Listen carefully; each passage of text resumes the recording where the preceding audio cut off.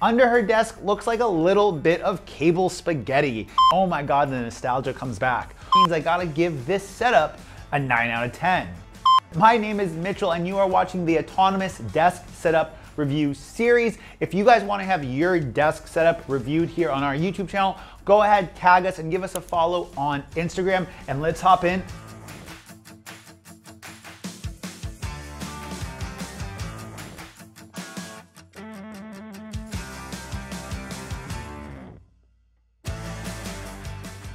First on this list is Billy. Billy is a content creator from Toronto and he's using his autonomous smart desk core as well as his Ergo Chair 2 as a place to both film and edit and create in. Now, this is all powered from an Alienware R11 and two large 27 inch monitors flanking either side on his desk. Now this is accompanied by some really nice Logitech MX Master peripherals. He's using both a Logitech MX Master mouse and keyboard. And if you guys didn't know, these accessories use one unified dongle so that you can have low latency performance for both your mouse and keyboard wirelessly. Now for filming and studio gear, Billy is using a pair of RGB LED panels that he has reflecting off of his wall along with his Sony a6100.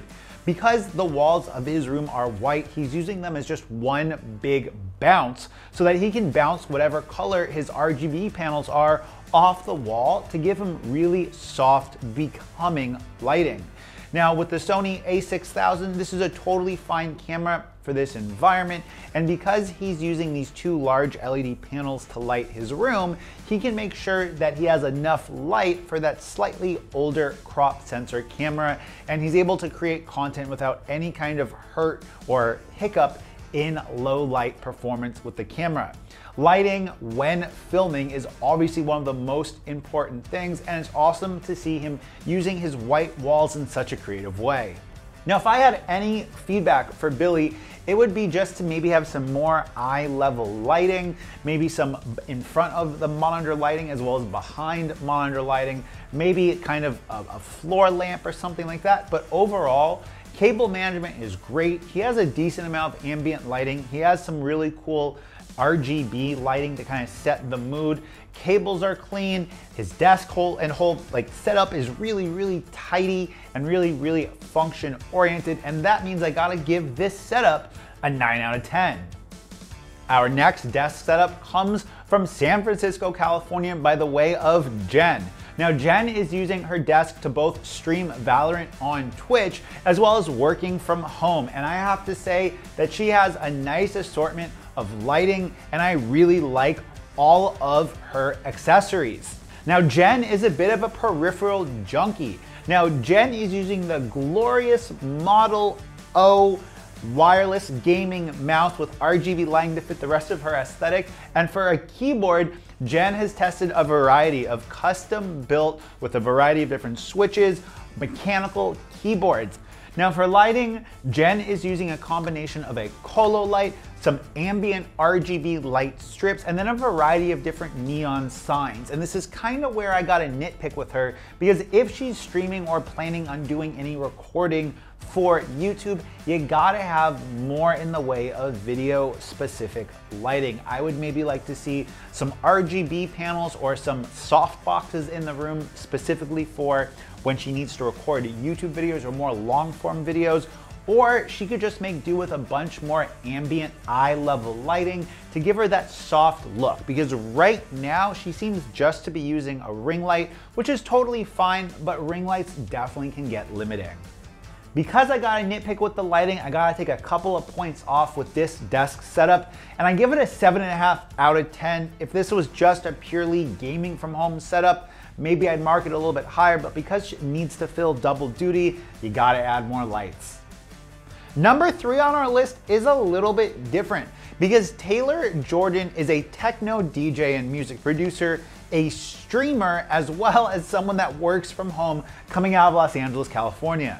Now, Jordan's setup starts with an autonomous Ergo Chair Pro Plus and a Smart Desk Pro. And on this Smart Desk Pro, she's got a triple monitor setup along with two studio monitors for when she's mixing and making music.